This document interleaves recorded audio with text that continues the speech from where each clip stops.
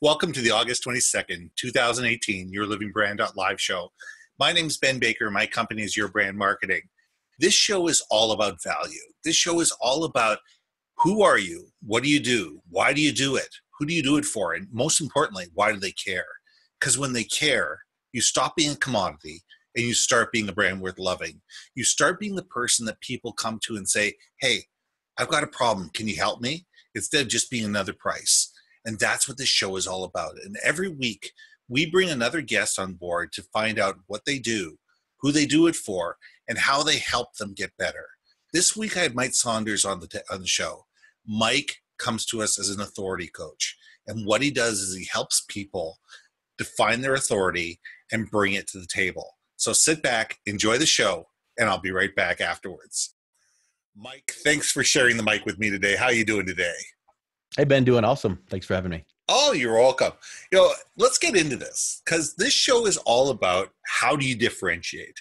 And you and I have had lots of conversations. We've had conversations offline. In fact, we just had a conversation just before the show started about how do you differentiate yourself? Because let's face it, there's too many people out there that are doing the same thing each and every day. You know, yep. they're they're putting themselves in the commodity role and they don't take the time to figure out who they are, what they do, what makes them unique, who their audience is, and really why those people should care. So, how do you do that? What's your story? Tell me the story about Mike. You know, tell me where your company came from, where you are, and where you guys are going.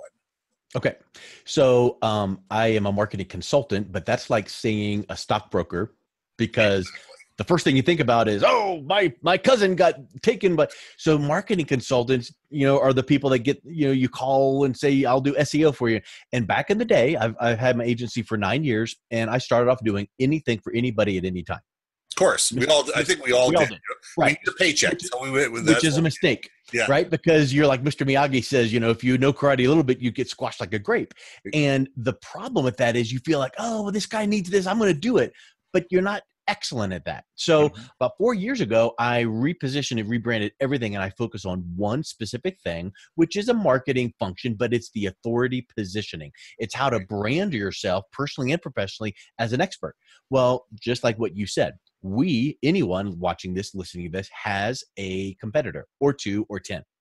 What in the world is going to set you apart? Well, we have good service customer. No, right? I, will sit with clients many times and go, "What's your competitive advantage?" Well, we've got friendly staff and we've been in business 25 years. That is not a competitive advantage. You better have that, or else you'll be out of business. But that, that, that gets you to the table. You know, that's that's the stuff. It might, yeah. These days, yeah. it might not. Yeah.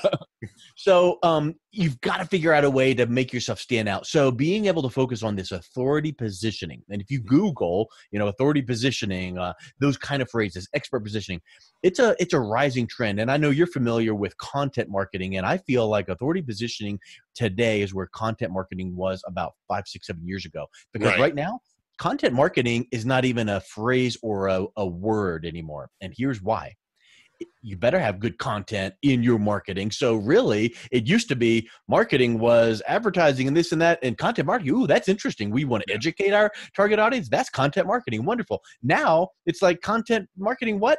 It should be your marketing. So I feel like authority positioning is this new thing that people need to grasp onto to move their business forward. And in about five or 10 years, you don't even need to talk about it anymore because you better be positioning yourself as that expert and that authority. So that's where I'm at. And I, I teach on that, I train on that. And what I found, and I might have prospects and clients that are so different than anybody else. So correct me if I'm wrong, but I have clients that know they need something, but they don't want to do it themselves. Right. Right. or they don't don't know how to do it or they i mean you know as well as i do that many times these consultants go in and if you really broke down what they did for their client it's like yeah. I could have done that. But if they gave you the checklist and the little three page PDF and said, do it, you'd get to step two and go, Am I doing it right? What if I need it? So, what I, the point I'm making is I teach and train on authority positioning, and I've got right. some a book, and I've got some videos, and I, I I will dial in exactly why you need to have this in your business. But then I take it to the next step, and I go, I'm not going to give you some mastermind or online course. I'm going to do it for you. So I've got this package where I do take 20 minutes of your time and you get these deliverables. I've got mm-hmm. this package and you get this. So done for you with a little hint of done with you because it's never going to be a surprise like, oh, I didn't want it this way. So done for you packages with authority positioning so that your target audience sees you as the obvious choice. Perfect. So let's dive into that. You know, let's dive into that because it's, you know, in theory, it sounds wonderful. Yep. But here's the thing I'm a small and medium sized company. I have a marketing plan. I do a little bit of marketing. I do some content marketing, but I'm not seen as a differentiated authority in my in my field. I'm not seen as the concrete guy, or I'm not seen as the realtor, or I'm not seen as the you know realtor who does uh, condos on the west side of Detroit right. or whatever. You know, you, you pick your niche because the more you can, you know, define your niche, the better off you are. You know, yeah. the more you can segment yourself and say, this is what I really do, the more the authority you are. But they do these things, they just don't know how to articulate it. How do you yep. start them off? Like where's where does the yep. process start and where does it go? Because it sounds, you know, it sounds simple, but it really isn't it really isn't as, as simple as people think, and that's really why people need the expertise and the hand holding. Agreed, and I will say that it's very very simple because people get it, but then it's complicated complicated because they think I can't do it. But right. then when it's done for them with them, then they go, "Ooh, this is a competitive advantage." Right. Here's, here's, what I mean. I teach marketing for several universities, and I teach marketing strategy and branding and all these things. And one of the the things that I love doing is I like teaching my clients some of the academia that I teach in the classroom, and I like telling the students in the classroom, online right. or offline classrooms, you know, here's what I do for clients, and it's mm. so such a neat synergy. But there's something that I know you know what is called the buyer's journey, and it's a right. thing these days, right? It's it's not just some marketing little uh, a flash in the pan. There's something called a buyer's journey, mm-hmm. and it's you know uh, um, you know consumer buyers buying process. But we all go through a series of steps before we make any dis- major buying decision. Now, a pack of gum, probably not, but a car yep. or in, in like your example, um, if someone's going to buy a large software, uh, uh, you know, project or consulting package, that prospect goes through certain um, buyer's journey, but steps like I wonder if they're trustworthy. And some of these steps they logically have to get checked off in their mind, and some of them are subconscious. So right. there, it really is exciting when you can talk about these heuristics. And I've got a video on my website called Authority Heuristics, where it gets into the marketing psychology of how people make these decisions. So um, to bring it down to a really simple uh, example, you mentioned, you know, I'm a small to medium sized business and I need, you know, X um, I would say to you, like if you're the business owner and you're looking at these prospects and you want them to buy your your widget, right? Right. Um, I will say to you, hey Ben, um, could you right now, like in the next, if we put a, you know, you cleared your schedule for the next ten minutes, could mm-hmm. you write down the top 10 questions you normally get from prospects about your product or service. Would it be simple to write down 10 questions? Yep. Easy. For most for most of us, it probably would be. You know, just look yeah, at yeah, the Q- just look at the Q and A on our website. You know, yep. it's it's there. Yep. yep. But but then get, guess what? What if I said, okay, now click done, good job. Now for the next ten minutes, I want you to write down ten should ask questions, and mm-hmm. these are the questions that your prospects should be asking if they knew to ask them, because then they really like, oh, that's a good point. So, mm-hmm. what's the next level question that people, once they get the easy things out of the way, what is 10 more questions that go a little bit deeper that make them go, aha?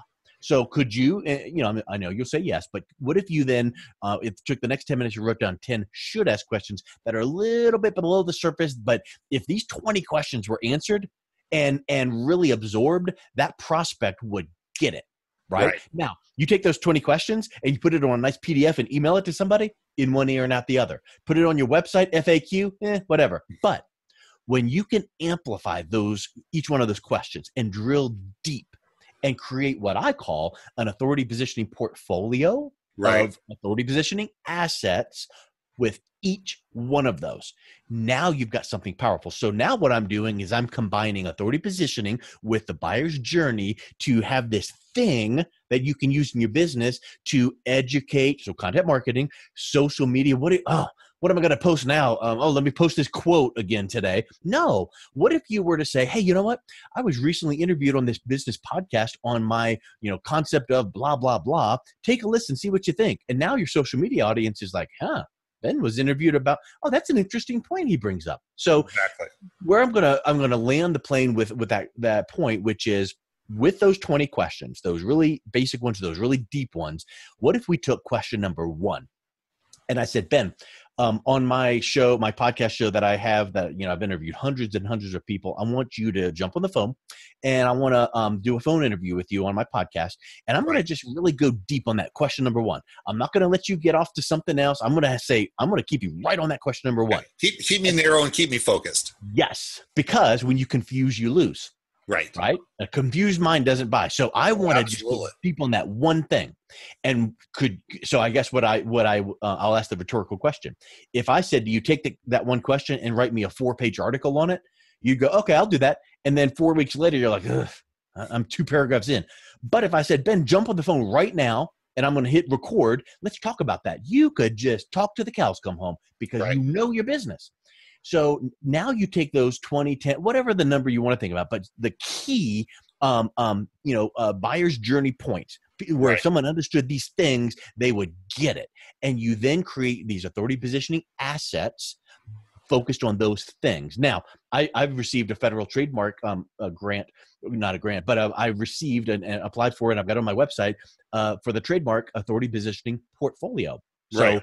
I feel so strongly about this that I went out and, and got something documented. And what it is is basically all of these things that you do that would elevate your brand, yourself personally or professionally, in the eyes of your target audience. So, like, um, interview this number, this interview right here, or um, I wrote a book, or Right. um, I was mentioned in the media, or whatever the case is. Each one of those things, don't just let them go and post it to your Facebook once. Gather them together in this authority, authority positioning portfolio, and that might look like a folder on your computer. It might look like a couple links in your email signature. It might be a, a page on your website. So instead of a FAQ, how about an FAQ that's like, hey, um, we were recently interviewed on several shows and mentioned in the media about several very important points that Mhm. you probably have as a as a, a consumer. Here's the list. L- watch, listen, click, learn. So then it's like, hey, what would happen if fill in the blank? And they go click and they can listen to that. They can watch this video. Maybe it's a video here, audio there. The point is, now all of a sudden, you've got something very substantive. And you get your competitor that points someone to the frequently asked questions section on their website, and they get you that either emails them three or four of these things or points them to a page on your website that has these vibrant, you know, thumbnails of you being interviewed. Mhm. Or how about the ultimate thud factor? You drop that copy of your book ahead of a meeting, after a meeting, in the meeting, whatever the point is. Your competitors probably aren't published authors. So whichever combination of these things that you think of, the point is if if some or all of these things were done for you and you hardly have to do any work at all, but talk about what you know, do you think that would make you the obvious choice compared to your Well, there's value to that. I mean, there's value to that because what you're doing is putting something where most of my audience right now is going, "Oh my god!" and it's like was drinking through a fire hose. And when they sit there, going, "Oh my god!" Look at all these pieces and all the things, and I, they, oh, these are all really good ideas, but I'll never implement them. But if somebody could implement them Yep. for you, But what if I told you that in one 20 minute phone call, you could have like five of these things done like that? Um, Right. I could do that. And then what if I said in three hours of your time, you could be an Amazon bestselling published author? Could you use that in your business? Three hour? Yeah, I can do that. So yeah, you're right. I like to do that. Professionally confuse people to go overwhelm. I, I want that. I want that, but I can't do it. Oh, 20, I can do 20 minutes. Oh, Right. three hours over a course of 90 days. I could do that but Uh-huh. yet you get these things and and how about this ben how long does a facebook ad campaign work for you a good one might might get you 90 days. uh wrong and here's why and I, Yeah. I, set you up so i'm not trying to make you look bad it only works as long as you feed the machine and pay it because you pay facebook x you get the ads running when you stop paying ads disappear you can't find the history the archive of your Right. facebook ads There's no tangible evidence. There's no Right. there's no concrete thing that's sitting there Right. that's yours and that's tangible. it's it's gone. It's a puff of smoke. But with these things we're talking about, like right, I could show on my website. I love doing this. I, I met with a guy literally an hour ago that I'm doing these packages for, and I was like, "Hey, did you get that email I showed you where people, um, like, like for instance, do you know right now that SEO, search engine optimization, is a wonderful industry, but probably for most people watching and listening to this, they don't need SEO, but their prospects are googling their name and their business Mhm. what do they see? Wouldn't it be wonderful if they Googled, you know, Ted Lipinski and the name of Ted's business, and they saw, oh, there's his website. Okay, obviously he's got his website. Oh, LinkedIn. Yeah, yeah. Oh, he was interviewed on. Huh. Oh, look at this um, um media piece. I'm going to check old Ted out on that interview. Those are assets. Those are long term assets. So that's why I call them authority positioning assets because once we do it, and I do it for you, with you, right? And it's hardly any time, once that's done it's out there working for you online. So they're digital assets and and if you have a book then it's a physical thing. You're touching and feeling handing to someone. So the the beauty of this that i think people miss is we need to be doing things to separate ourselves from the competition. It takes money to invest but you want that investment to pay off long-term dividends and these right. things are paying off online digitally. And when you do things like the book, then it's physical things like that. And the power and the pre framing that it does for that prospect before you even walk in the door. Here's, here's a question I'll ask you.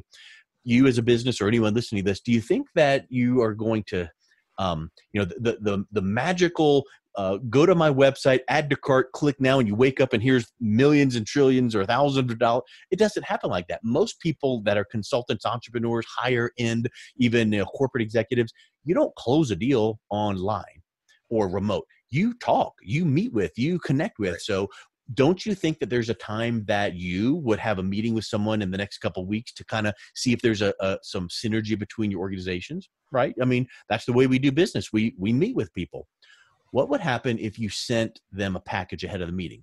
You know, hey Tom, Ben here, just uh, looking forward to our meeting next week. Would love to, uh, you know, connect with you and just see if there might be a fit. If not, that's fine too. We'll have a great cup of coffee. But in the meantime, thought I'd drop this uh, mail piece uh, in the mail to you or an email, whichever one you you choose. But hey, I want to get you a copy of my book, and and hey, here's a little thumb drive with some interviews I've done on some radio shows. Take a cruise through there before we uh, connect because it'll help answer a lot of basic questions. Right. So, Mike, I got one big question for you how do you personally make sure when you're doing all this work for people and it's great work that you do how do you make sure you're on their brand that you're that you're speaking in their voice that you're making sure that whatever piece that you're putting out is consistent that the message is clear and whether we're talking a book we're talking an interview we're talking you know a podcast we're talking you know linkedin articles we're talking whatever pieces that we're talking about you know that it's consistent across the platforms yep. and that it's spoken in their voice and in their brand um, you're bringing up something in marketing academia called IMC, integrated marketing communication. So it needs to be a consistent voicing across all your channels for your brand. So excellent point, excellent question. A lot of times when you hear done for you, it's like, hey, I'm going to write a blog post for you once a week and I'm going to do all this stuff. Well, the way that I achieve what you just asked is the fact that it's in the client, it's in your voice. So mm-hmm. when I'm talking about these, you know, pieces on the frequently asked questions, and we do the interview number four on whatever topic, it's your voice on the podcast. It's your voice when it gets transcribed and, and brought into a book publication. So that's the beauty of, you know, well, I'm going to lose control. I don't know what they're going to say. A ghostwriter isn't going to say uh-uh, it doesn't happen that way. It's your voice. Now right. I help and coach and guide you because I'll I'll take a question and go deeper. And like after many interviews, they'll go, "Oh my word, I've never gone that deep before." That was a really good question. So I'm able to draw it out but it's you, your voice, your voicing, you know, literally your voice, but you're voicing because it's your experiences. And I would venture to say that many t- people listening to this offer service that competitors offer, but because of your background, personal and professional background, you're able to, to deliver whatever it is that you do in a really unique way because just of your experiences. And when you can tell that story through your voice, mm-hmm. um, your voicing, your brand voice, you know, not just your spoken voice, but now your your target audience understands and goes, oh, I, I kind of get that now because I've heard it before, but it never really clicked. But you said it in a really unique way. It really resonated with me. Right you know and that's important it's important for people to not have that fear that it's going to be taken away from them or misconstrued or misunderstood or misaligned because yep. your brand is important Yep. Your brand it's is you. vital. Yeah, it's, you. I'm not talking about your logo. I'm talking about your yep. brand. It's, it's yep. how do people think about you when you're not in the room? And that's yep. what the book does. That's what the article does. That's what everything does. But it's making sure it's consistent across the different platforms. Because if it's not, you're doing yourself a disservice. So you need to because then you're you're feeding someone's shiny object syndrome. Exactly. You know, if you're over here talking about this and then you're over here, then you're talking, then they just feel like, I'm exhausted just trying to follow that dude. But if you're on point, they're they're slowly but surely getting it and it's just like because like we said earlier you know a confused mind doesn't buy you can't confuse people you want to get them that one step and then when you they get there, you want to go, okay, now we got that in your business or doing whatever we're doing. Now the next step is, and you you want to give them that thirty thousand foot view, like what I was mentioning to you before, where it's like, wow, that's so much stuff. But the first step is just this and then you move forward to the next step and then it becomes so easy. But you're exactly right. You don't want to have different voicings or or you know like the brand voice. It's not the logo. It's it's your brand persona. You don't right. want to have one way in front of one other group and another way over here because now all of a sudden people they just they, they might not even logically think this feels disjunct but they just kind of feel uneasy. It just it's just scattered you know? No and i get that. It's it's important. It's important to make sure that it doesn't feel scattered. So when you're working with a with a, a brand new client and you walk them in the door what is the first conversation you'll have with them? Uh, before before we get to the point where you sit there and say here's you know give me 10 questions give me the next 10 questions.